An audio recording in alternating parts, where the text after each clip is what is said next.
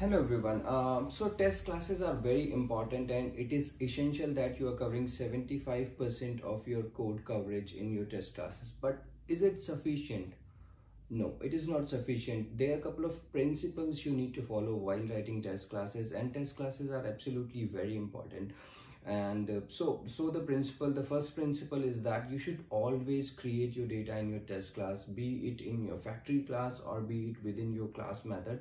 But always create your data in test class. Do not use the salesforce data. You know i i i agree that sometimes it looks easy and sometimes you have deployment deadlines and you need to cover everything but understand that why it is uh, that you should not use it. Because whenever you deploy something you are going to a different environment which may or may not have that kind of data.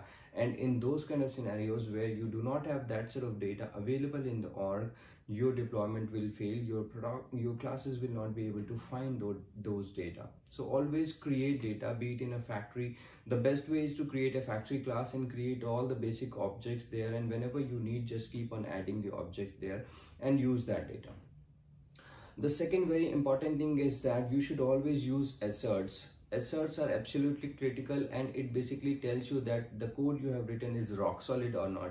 So whenever you write something, you need to make sure that you're checking if it is working fine or not.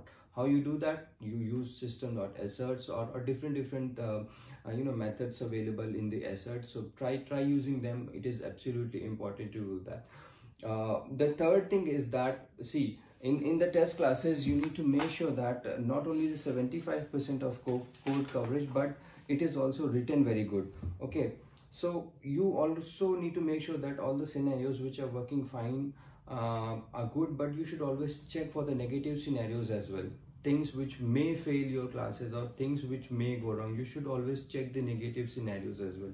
The fourth point is that you should always test in the bulk. So make sure that you are testing the data in bulk or creating data in bulk and testing it for the bulk scenarios as well. Because it is possible that it is working perfectly fine for one or two record but whenever you go in bulk it starts